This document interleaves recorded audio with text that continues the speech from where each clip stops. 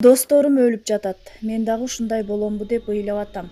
Чубак жалиловдун ооруп жаткан учурдагы сөздөрү интернетке тарады. Белгилүү дин аалымы чубак жалиловдун ооруп жаткан учурда айткан сөздөрү интернетке тарады. Анда маркум онунчу он эки күндөн бери ооруп жатканын китеп окуганга алы жок экенин жана тааныштары өлүп жатканын өзү дагы ушинтип өлүп каламбы деп ыйлап жатканын айтканын угууга болот. Маркум чубак ажы жалилов кечээ онунчу июлда оор абалда улуттук госпиталга жеткирилгени маалымдалган. Дин аалымы соңку ирет төртүнчү июлда оңдоп түзөөдөн өткөн мечитти обсервация катары пайдаланууга берүүгө даяр экенин айткан эле.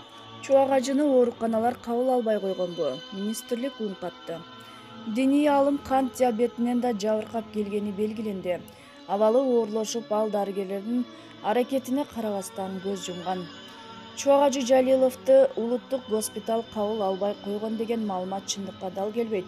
Бул тууралуу саламаттыкты сактоо министрлиги кабарлап эл ичинде тарап жаткан маалыматтар боюнча түшүндүрмө берди. Эскерте кетсек диний аалым түндө ооруканада үзүлгөн.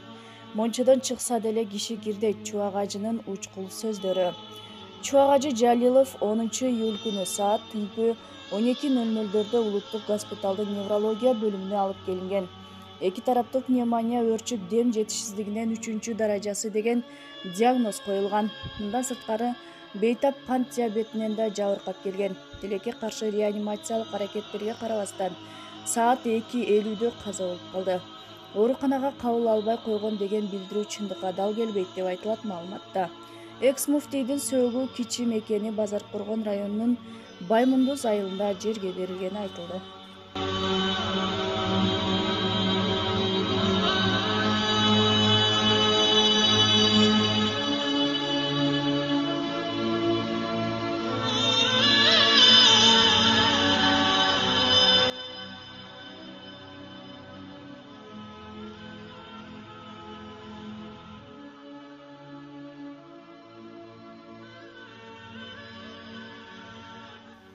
камчыбек ташиев мечит салып жатканбыз.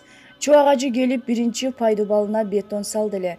Эми аны аалым чубак ажы мечити деп атайбыз. Бүгүн түндө кырк беш жашында пневмониядан улам каза болгон дин аалымы чубак ажы жалиловду экс депутат камчыбек ташиев эскерип фейсбук баракчасына төмөндөгүдөй пост жарыялады. Чубак ажы аалымдын бул дүйнөдөн өткөндүгүнө байланыштуу аза кайгыруу көңүл айтамын. Чубак ажыке менин үкөм эле бирок атамдай көрчү элем менден жашы кичи эле. Бирок асказоом эле жөнөкөй эле адам эле. Бирок кол жеткизе алам эле. Эх керемет арман жалган дүйнө. Мечит салып жатканбыз. Чубак ажыке келип биринчи фундаментине үч күрөк бетон таштап берди эле. Эми ошол мечитибиздин атын аалым чубак ажы атындагы мечит деп атайбыз. Укам чубак ажыке сиз бул дүйнөдөн өттүңүз. Бирок эми сиздин легендага айланган өмүрүңүз башталат. Ушундай уулду тапкан кыргыз элиме таазим көтөр башты улутташым кандашым. Кыргыз атын дүйнөгө тааныткан чубак ажы кетти бизди таштап. Мүңкүрөбө кыргызым мүңкүрөбө аллахым бейишин берсин деп жазды камчыбек ташиев.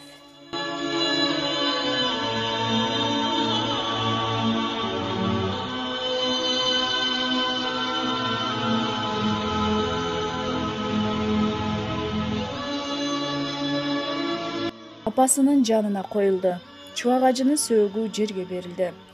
Тажыяга жети облустан келишти. Жергиликтүү кеңештин депутатынын айтымында келгендердин баарына бет кап кийүү зарылдыгы эскертилип социалдык аралык сакталган. Кыргызстандын мурдагы муфтийи чубак ажы жалиловдун сөөгү өзүнүн туулуп өскөн айылы базар коргон районундагы баймундуз айылында жерге берилди. Бул тууралуу тажыяга катышкан арсланбап айылдык кеңешинин депутаты давлет азиркулов спутник кыргызстан агенттигине билдирди анын айтымында аалым апасынын жанына коюлду. Тажыяга өлкөнүн булуң бурчуңунан миңдеген киши келди. Айылдагы беш гектардай айдоо жерге жаназа окула турган жай даярдалган. Республиканын жети облусунан адамдар келип катышып жатышат. Келгендердин баарына бет кап кийүү зарылдыгы эскертилип социалдык аралык сакталды деди азиркулов сөөктү айылга саат жыйырма отуздарда алып келишти жаназа намазын кыргызстан ислам университетинин ректору чубак ажынын үзөңгүлөшү абдышукур нурматов окуду. Андан соң коргоочу кийим кийген адамдар табытту көтөрүп кетишти. Калың элге мүрзөгө барууга уруксаат берилген жок. Сөөк маркумдун жакын туугандары тарабынан жерге берилди. Мурдагы муфтий он биринчи июлга ооган түнү оор абалда бишкектеги улуттук госпиталга жеткирилген. Саламаттыкты сактоо министрлиги билдиргендей чубак ажыга эки тараптуу пневмония өөрчүп дем жетишсиздигинин үчүнчү даражасы деген диагноз коюлган. Мындан сырткары бейтап кант диабетинен да жабыркап келген. Тилекке каршы реанимациялык аракеттерге карабастан саат эки элүүдө каза болгон. Маркумга бишкекте да жаназа окулуп ага өлкөнүн муфтийи максатбек ажы токтомушев баш болгон калың эл катышкан. Алымдын кичим экенине да эл чогулуп сөөктү күтүп жаткан сүрөт видеолору тараган чубак ажы жалилов бир миң тогуз жүз жетимиш бешинчи жылы жыйырма биринчи январда базар коргон районунун мундуз айылында мугалимдин үй бүлөсүндө туулган. бир миң тогуз жүз токсон алтынчы жылы кыргызстандагы ислам университетин бүтүргөн жусуп баласагын атындагы кыргыз улуттук университетинде араб тилинен сабак берген эки миңинчи эки миң алтынчы жылдары сауд аравиядагы эл аралык ум аль кур университетинде жогору билим алган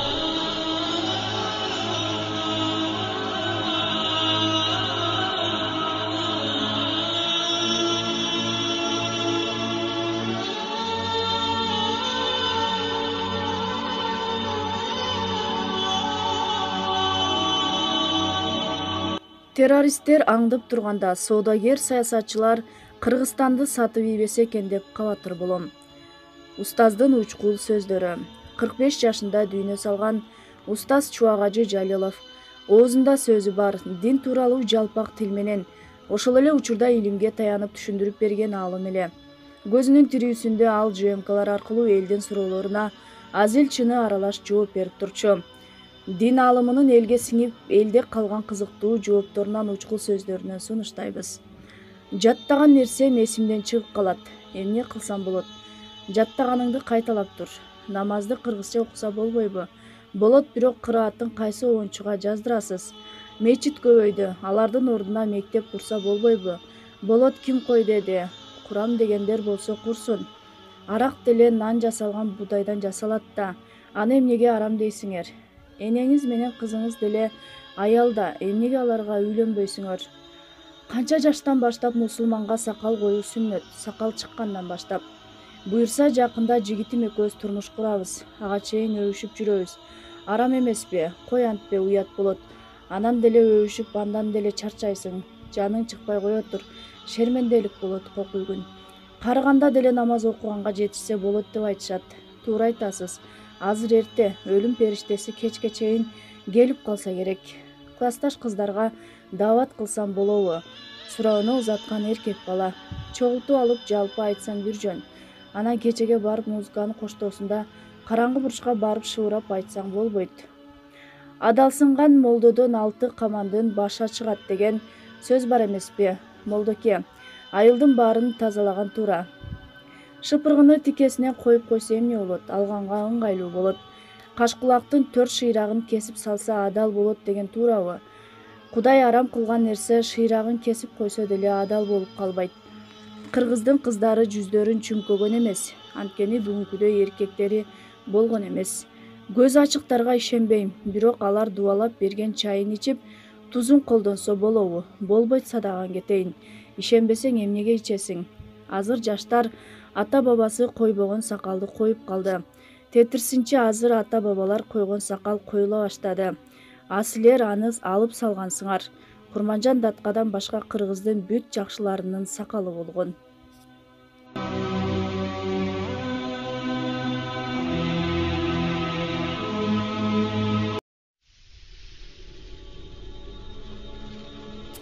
алла таала периштелерге эле эмес адамзатка да ушунча илим берет экен да.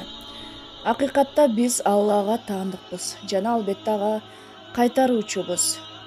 Орто азиянын илимдеги исламдагы чолпон жылдызы жакшылыктын жарчысы белгилүү аалым чубак ажы жалиловдун кайтыш болгондугу баарыбыздын жүрөгүбүздү канатып ан сайын кайгыга салып кетти. Ажыкебиздин арабыздан кетүүсү өлкөбүз үчүн гана эмес бүткүл борбор азия аймагы үчүн жана бүткүл дүйнөлүк ислам лигасы үчүн да чоң жоготуу. Чубак ажынын үй бүлөсүнө жакындарына жана аны сүйүп урматтаган жалпы мекендештерибизге кыргызстан мусулмандарынын аалымдар кеңешинин атынан терең кайгыруу менен көңүл айтамын. Устаттын ыйманы саламат болсун жараткан алла таала ырайымына алып бейиштеги даражаңызды бийик кылсын. Сабырдуу болуп аалымыбызды дуа кылалы. Апаат илдет бүт дүйнөнү каптап арабыздан жакшылар асылдар кеткен сайын каңгырагыбыз түтөп айтарга сөз таппай калдык. Кайгылуу кабарлар жалпы журттун жүрөгүн тилип жүрүнүн сыздатып турат. Чубак ажы саудиядан диний жогорку билимди алып келгенден кийин кыргызстан мусулмандардын дин башкармалыгынын фатва бөлүмүндөгү иштеп турганда жолугушуп бир күн кечке чогуу болдук. Арашанда үйүндө барып конок болдук айтор кечке диний шаарий маселелер менен гана маектештик. Акырында менин бул кишиге болгон сыйым артты. Аллах таала периштелерге эле эмес адамзатка да ушунча билим берет экен деп ойлоп калдым. Кыргызстандын азирети муфтийи болуп турганда да тыгыз алакада болдук. Мен мындай адам менен замандаш болуп калганыма замандаш эле эмес кудайдын дининин жолунда үзөңгүлөш болуп калганыма чексиз сыймыктанамын кыргызымды намыска чабаар күлүгө эле. Ажеке бир окуу жайдын студенттердин эле эмес бүтүндөй коомчулукту тарбиялап кыргыз журтчулугунун баарына устат болду. Өмүрүнүн акырына чейин мекени үчүн ат көтөргүс кызмат кылып жүздөгөн шакирттерди тарбиялап чыгарган жана китептерди жазган элибизге чубак ажыдан таберик катары көнөргүс эмгектери жан дүйнөнү байыткан баяндары ыйманга сугарган сабактары баа жеткис китептери калды